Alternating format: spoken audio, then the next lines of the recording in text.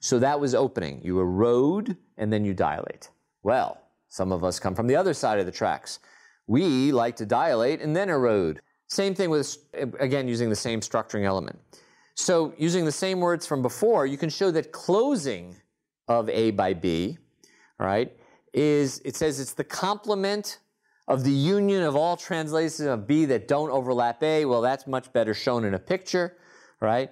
So now we take our paintbrush B and we run it on the outside of A where we're not allowed to go touch, go inside of, of that. And what results is the new area that is um, that, that that's been painted. And one of the things that's interesting to see is you see how this notch is smoothed out. But because of the convexity of this, and the I can actually move this around very precisely right around that.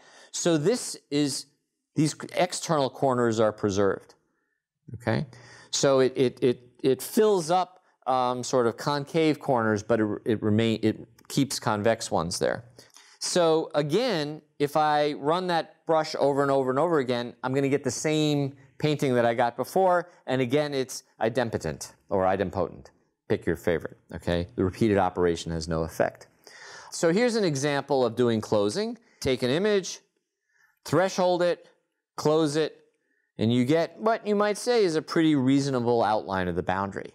You'll notice it did catch some of this shadow. Well, that's because your threshold pulled up some of the shadow.